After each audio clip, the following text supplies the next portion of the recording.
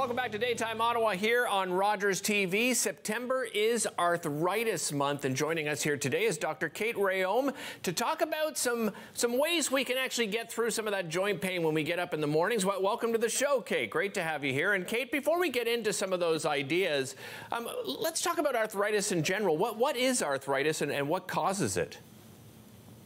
Mm-hmm. Well, the itis means inflammation. So, this is inflammation in the joints. It can affect any joint in the body. And there's lots of different types of arthritis uh, that have somewhat different symptoms, but you know, they're mostly characterized by joint pain. The most common form of arthritis is osteoarthritis. And this is the kind of wear and tear that tends to happen on the joints over time. We associate with the aging process and a degeneration often of the cartilage within joints. So, before we get to, to some of these tips as well, what about prevention? How do we prevent arthritis? Mm-hmm. This is important. So, uh, you know, maintaining a healthy diet, we, we, say this often for so many things, but specifically uh, looking at an anti inflammatory diet, we can go into the specifics of what that means, but arthritis being a condition of inflammation, that's important. Continuing to move. Uh, joints, like so many other things in the body, will suffer from the use it or lose it type of syndrome. So, nothing too strenuous, but movement is really helpful for all, all kinds of health conditions. So, these are some of the things to keep in mind to keep our joints healthy. It reminds me, actually, you know, you saying that reminds me of a quote from Dick Van Dyke. He was asked, you know, with about you know his um, his success and of, of long, longevity. What's his secret to longevity? You should write a book, and he said, well, be a short book because the book would be move. That's all I would say in the book, and I and you know that's exactly what you're talking about. And let's let's go into some of these tips because movement is is your top tip, and that is stretching when you get up in the morning.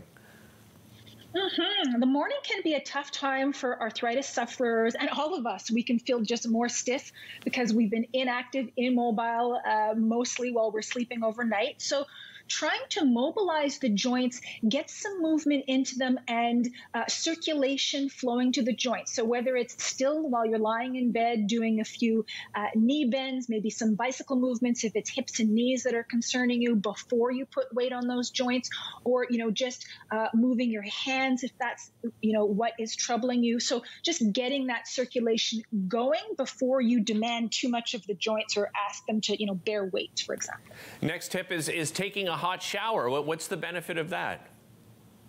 Mm-hmm. Again, this is another great way to increase circulation to the joints first thing in the morning, help to clear out some of those inflammatory components that may have built up overnight, and uh, get some fresh circulation to the joints. And that can help with uh, a little bit with the, the fluid in the joints. I mean, we're talking about healthy fluid that's supposed to be there, synovial fluid. So, again, uh, a warm shower, any kind of warm application really is helping with that circulation. Many people start the day with, of course, a, a cup of coffee, and, and you have a little secret ingredient that perhaps people should be should be putting in their coffee. What is that? Mm-hmm. A scoop of collagen in your coffee. Now, we know that this is a hot trend for beauty purposes, but in fact, uh, it's important for joint health as well. And so, your local health food store will likely have a collagen supplement that can mix into coffee. And uh, our cartilage is made up in large part of collagen. Collagen declines with age, we lose this over time, and it's a contributing factor to that joint degradation. And so, you can help to top up your collagen by putting some, whether it's in your morning coffee or you know, on its own to help replenish collagen that we find in joints. Well, I see you have foods in front of you there. You had mentioned diet a little bit earlier on in our in our interview. Let, let's talk about diet and, and how important that is. Maybe you can expand on that for us.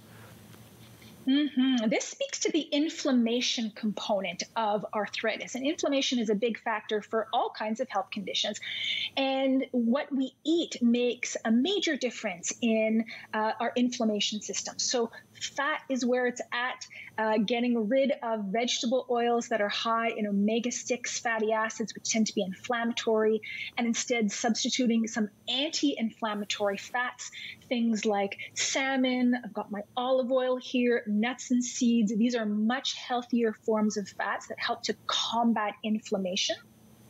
And I also have uh, some uh, curry, for example. This is a source of, typically, if it's a curry that contains turmeric, uh, has a component called curcumin in it. So this is an anti-inflammatory uh, spice, a component in that uh, spice, and this has been used widely and studied widely for its anti-inflammatory action. So enjoying lots of uh, curry if you, you do, or again, your local health food store will have a, a curcumin supplement to get in that wonderful anti-inflammatory spice. Yeah, and uh, you know I've heard quite often, uh, Dr. Rhéaume, is, is that turmeric is, is like this this magical spice that we, we should be trying to put into our diet whenever possible. Is there is there a lot of truth to that? It's remarkable. The research really? around this turmeric and specifically that curcumin component, literally thousands of uh, research papers on this, as well as clinical trials. Less so the clinical trials using foods because absorption can be limited. This is where things like supplement come in, but it's definitely top uh, thing to think about in terms of nutrition for inflammation or to combat inflammation.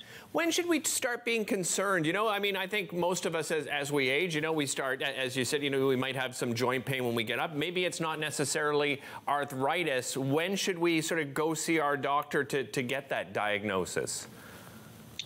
This is a great question because, as I mentioned right off the top, there's lots of different types of arthritis and they need to be managed in different ways.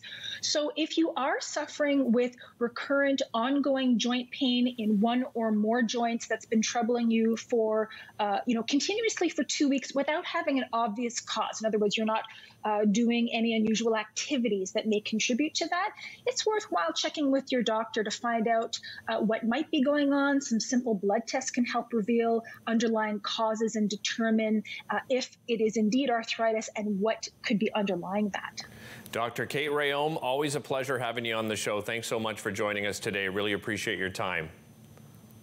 You're welcome. Great to see you. Great to see you as well. I'll reiterate to everybody at home as well, get up and do some of those stretching and, and do some, you know, some fun sports, some easy sports. We'll be back with more right after this.